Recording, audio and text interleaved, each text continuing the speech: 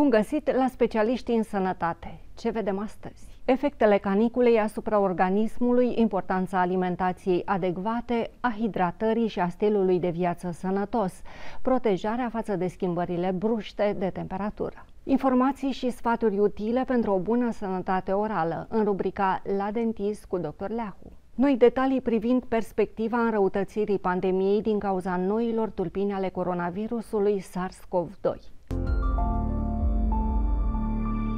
Canicula sufocantă ne dă de furcă tuturor. Ce efecte provoacă în organism? Cât de mult ne afectează trecerea bruscă de la o temperatură extrem de ridicată la frigul provocat de aerul condiționat și invers?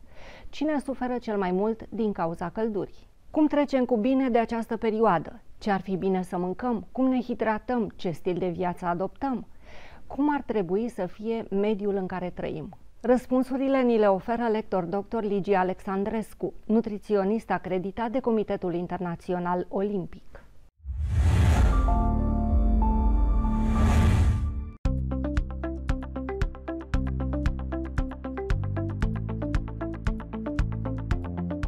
Pe canicule aș spune că cea mai mare greșeală pe care o facem este să ne hidratăm insuficient. Adică uh, hidratarea trebuie să înceapă dimineața, um, tot ce înseamnă fructe proaspete de sezon, adică pepenele, castravetele, ca legumă, uh, trebuie să fie prezente pe, pe mesele noastre, în special uh, la micul dejun. Mai puține grăsimi, deci în această perioadă mai puține grăsimi și mai puține alimente sărate. O altă greșeală ar fi legată de consumul de băuturi alcoolice reci, foarte reci și băutul apei foarte reci, la temperatură foarte scăzută, iarăși este o greșeală pentru că organismul nu face altceva decât să resimtă un șoc termic la nivel gastric, eh, gastrointestinal și, nu, nu în ultimul rând, la nivelul laringelui, faringelui și apare acea durere în gât după ce bem ceva foarte rece și să nu uităm niciodată că vara pe caniculă și, în general, alcoolul deshidratează, indiferent de ce tip de alcool discutăm.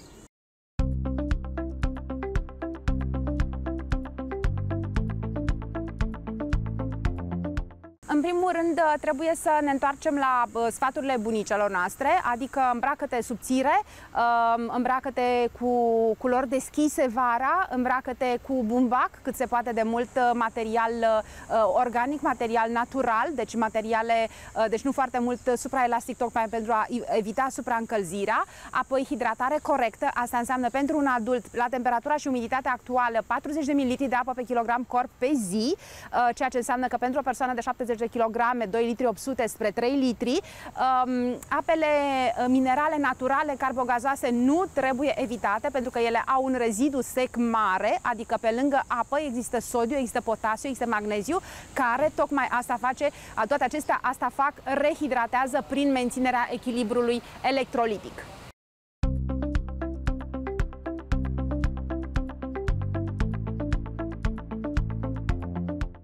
În general, căldura produce agitație, căldura produce creșterea temperaturii, dacă nu există o hidratare corectă, chiar febră. Deci totul se rezumă până la urmă la echilibrul hidric menținut. Hipertensiunea arterială poate să apară atunci când vine vorba de căldură mare afară. Deci organismul trebuie ținut în condiții optime, adică la temperaturi care să nu depășească 25-27 de grade, deci la umbră dacă stăm afară, în aer condiționat moderat 24 de grade dacă suntem în interior și uh, hidratare continuă.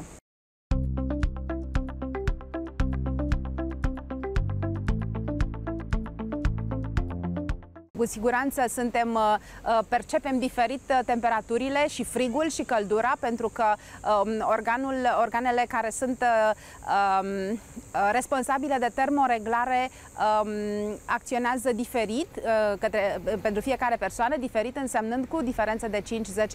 Sunt persoane care suportă foarte bine căldura și nu suportă frigul și invers. Așadar, în funcție de aceste organe care sunt responsabile de termoreglare, suntem un pic diferiți.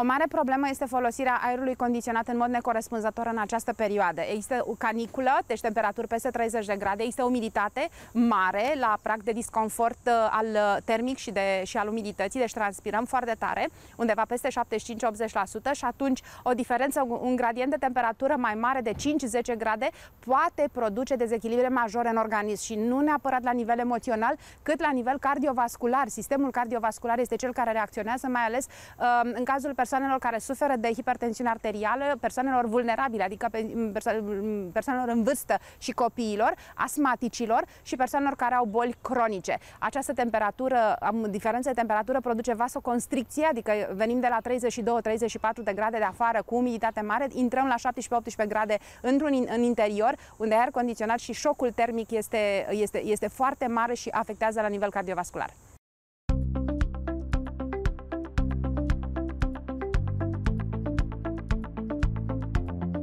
Atunci când avem aer condiționat, uh, trebuie să ne gândim la igiena folosirii acestui, uh, acestui tip de um, uh, device, pentru că, uh, să nu uităm, el nu este folosit iarna și atunci, înainte să-l folosim vara, trebuie curățat în așa fel încât microorganismele depuse, pentru că ele există, uh, trebuie curățate și apoi uh, uh, pus în funcționare. Aceste, aceste microorganisme produc miros neplăcut și produc uh, împrăștierea acestor bacterii, virusuri sau, uh, alții, uh, sau altor agenți patogeni.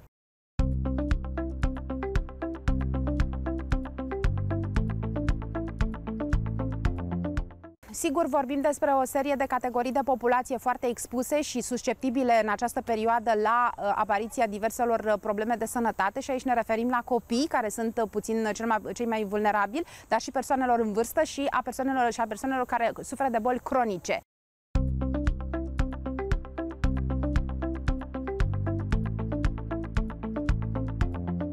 Aceste persoane trebuie să înțeleagă că uh, există o igiene a stilului de viață în zile cu canicula, asta înseamnă să consume 3 mese pe zi, să consume alimente ușoare care nu conțin multe sare, mult sodiu, multe sare, care nu conțin grăsimi saturate, care nu sunt obținute prin prăjire, uh, să consume alimente cu conținut bogat în apă și care hidratează, spuneam la început, pepenele, castravetele, uh, de asemenea alimentele de natură vegetală, adică chiar dacă se mănâncă dimineața o felie de pâine să fie cu, nu cu unt și cu, cu șuncă, cum am face iarna, de exemplu, ci cu salată de vinete, pentru că este sezonul cu uh, humus, cu uh, tot ce înseamnă uh, alimente vegetale, roșiile, castraveții, ardeiul, deci tot ce, tot, tot ce este proaspăt în piață și tot ce e de culoare verde, tot ce conține clorofilă hidratează. Un alt sfat este îmbrăcăminte subțire și de culoare deschisă și de asemenea bumbac, nu plastic, nu material plastic.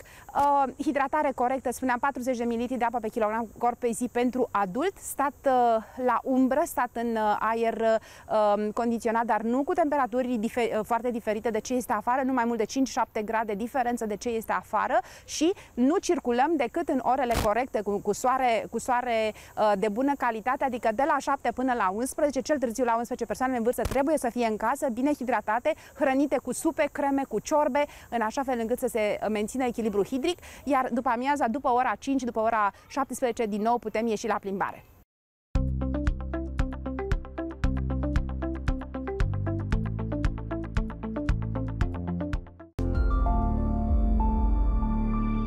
Secretele ortodonției, metoda de îndreptare a danturii neregulate și importanța tratamentului de canal în cazul copiilor, în rubrica La dentist cu dr. Leahu.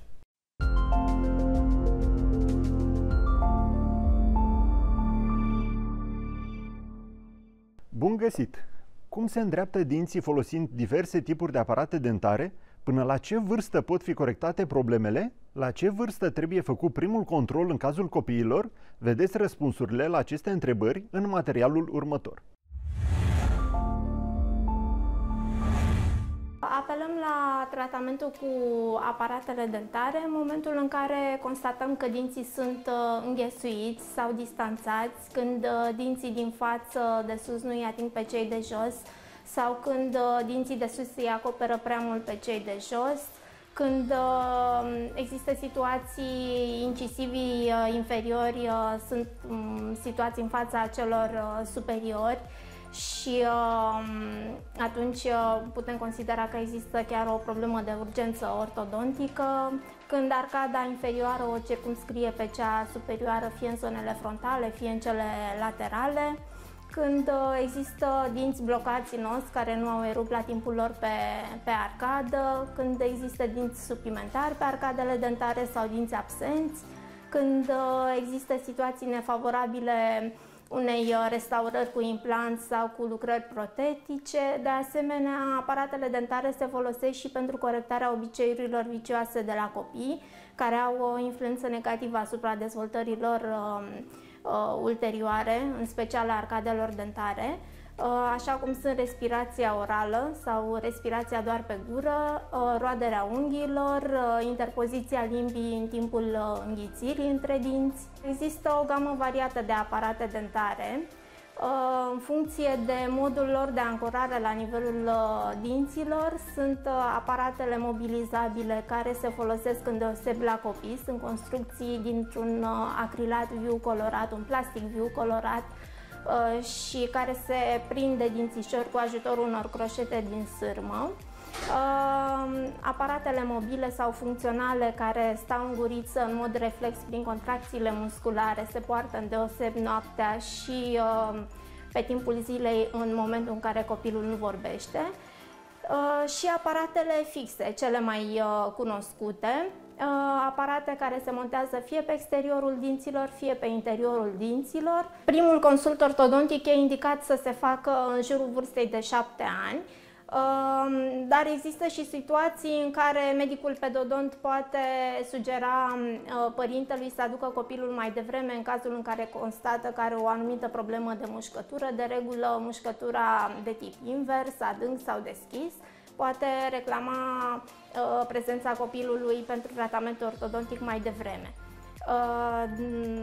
Uh, cele ma- cea mai recomandată vârstă de regulă pentru începerea unui tratament ortodontic uh, este în jurul vârstei de 8-9 ani, atunci când uh, semnele anomaliei dentare s-au instalat și copilul uh, e cooperant și poate purta aparatele care cele mai indicate pentru această vârstă ar fi aparatele mobile.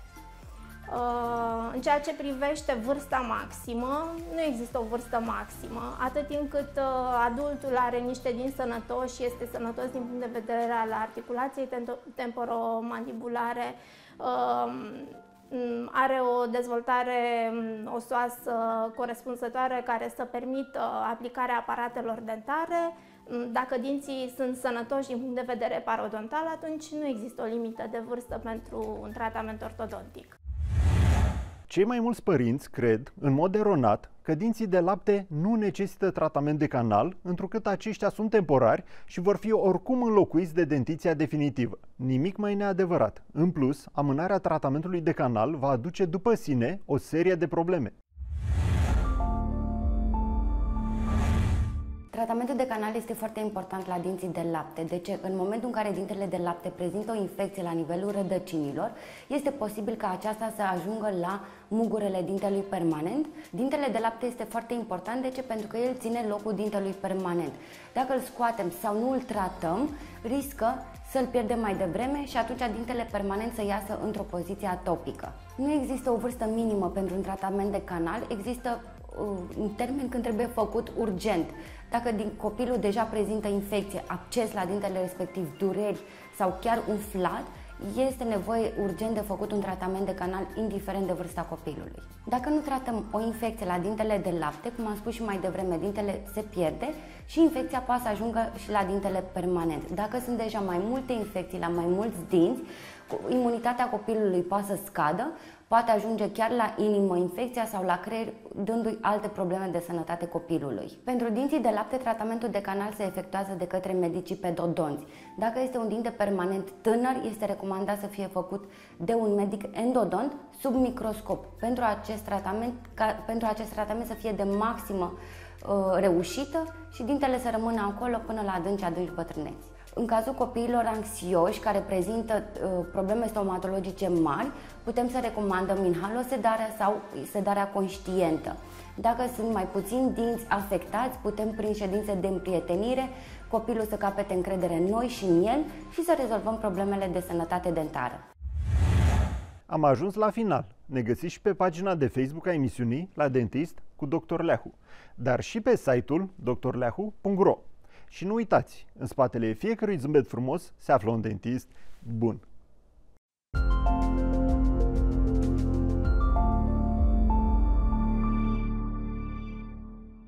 Noi detalii privind perspectiva înrăutățirii pandemiei din cauza noilor tulpini ale coronavirusului SARS-CoV-2. Imediat după publicitate. Rămâneți cu noi!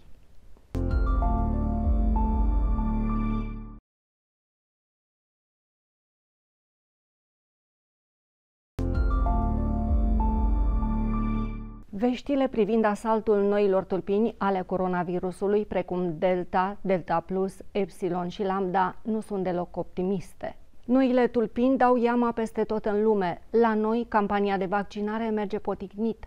Imunitatea de turmă este departe de a fi atinsă. Măsurile de relaxare sunt însă necesare pentru binele psihic al omenirii. La capitolul tratamente privind boala COVID-19 nu prea sunt noutăți.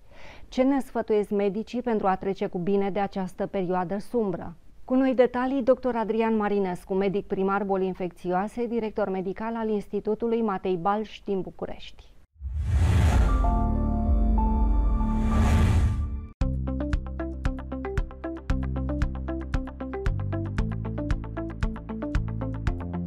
primul rând, aș spune că o campanie de vaccinare presupune un proces dinamic. România a avut și multe momente când a stat destul de bine și chiar foarte bine în primele locuri. Din păcate, nu am reușit să susținem uh, acest trend. Um, situația nu e foarte grozavă nicăieri în lume sau în Europa, dar sigur că asta mai bine decât la noi. Uh, vorbim de acea parte din populație care nu e în principiu vulnerabilă, spun în principiu pentru că nimeni nu poate să știe exact. Și atunci există această impresie că uh, și dacă se infectează, riscul de a face o formă severă este mic și că atunci nu își pun viața în pericol. Și nu iau, din păcate, în calcul uh, situația în care vor transmite mai departe într-o mai mare măsură. Adică este evident că dacă sunt vaccinat și sunt studii pe care le putem urmări în mod transparent, riscul de a transmite este mai mic. Probabil că și de aici sunt niște discuții legate de faptul că uh, se spune că dacă mă vaccinez, oricum pot să transmit. Fără să ne uităm la datele din studii și la lucrurile care s-au schimbat în ultimul timp. Da, la începutul campaniei nu știam exact uh, uh, ce presupune pentru, pentru o persoană vaccinată și ce risc există de a transmite. Dar acum e clar că riscul este mai mic. Atunci eu cred că trebuie să existe o conștientizare și să realizăm că este exact un cerc vicios. Avem relaxare în momentul de față și e bine că o avem, până o așteptam ca pe pâinea caldă, dar e clar că am vrea ca această uh, situație să reziste cât mai mult și dacă reușim prin vaccinare să facem acest lucru, este exact ceea ce ne-am dorit. S-ar putea să fie o situație mai grea într-un viitor apropiat. Dar numărul de infectări este mai puțin important. Contează câte forme severe, câte situații în care am nevoie de internare, de pacienți care își pun viața în pericol. Până la urmă, așa cum am mai spus și cu altă ocazie, am putea să transformăm infecția cu SARS-CoV-2 într-o variantă de guturai pentru cei care sunt vaccinați, cu condiția să fie vaccinați pe scară largă.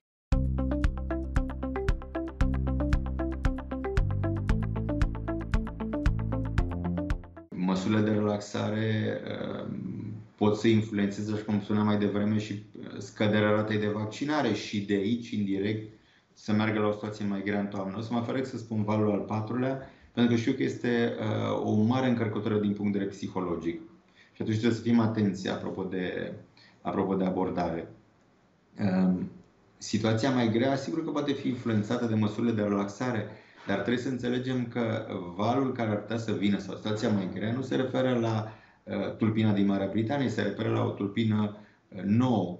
Uh, și atunci măsurile de relaxare ca într-adevăr să prevină ar însemna să nu existe, să rămânem în aceeași stare de, cu, cu restricțiile pe care le-am avut cu luni în urmă. Ori e foarte greu de crezut că cineva uh, poate să reziste la lung cu aceste măsuri restrictive.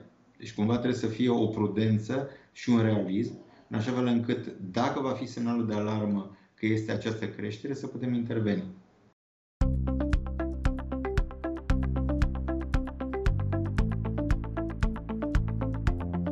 Am spune din fericire și din nefericire. Din fericire, anticorpii monoclonali sintetici au dovedit destul de mult că pot să facă diferența cu condiția să fie un tratament administrat la nivel de cameră de gardă.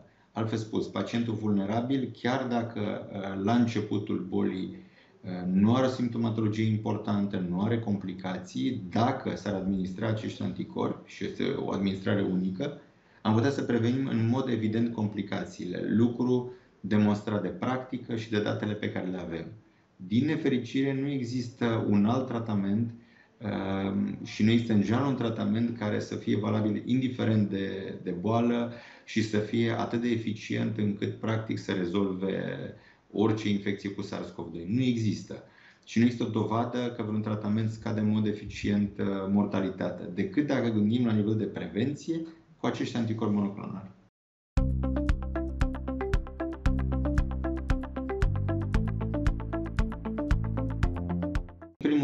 Calmul, despre care cred că vorbeam în toată pandemia. Uh, ne trebuie prudență, dar să se bazeze pe realism. Uh, cei care sunt vaccinați pot să vadă din date concrete, aici vorbesc de date, nu de lucruri spuse subiectiv, că într-adevăr uh, au o probabilitate foarte mică de a face forme severe. Ori nu se infectează, ori dacă se infectează fac forme ușoare și puteți să vă uitați în jur. Nici în cazul celor care au avut uh, varianta Delta nu există vreo dovadă, și nu numai în România, vorbim în general, uh, că a fost un procent crescut de forme severe. Deci clar că ne protejează. Pentru cei care nu sunt vaccinați, eu cred că ar trebui să gândească um, și să ia în calcul niște date reale, să realizeze că până la este un gest uh, care ar trebui să fie de normalitate și care ar putea să-i ajute pentru o situație care s-ar putea să fie mai grea de acum încolo. Și în rest, uh, cred că ne mai trebuie ceva răbdare. Uh, ceva răbdare până când se rezolvă, pentru că pandemia nu se închide precum o ușă, mai e o perioadă de timp.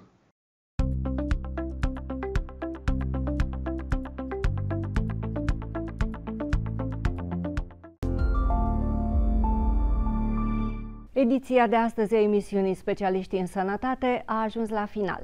O mai puteți vedea pe site-ul naționaltv.ro și pe pagina noastră de Facebook. Ne reîntâlnim sâmbătă viitoare la aceeași oră. Până atunci, toate cele bune!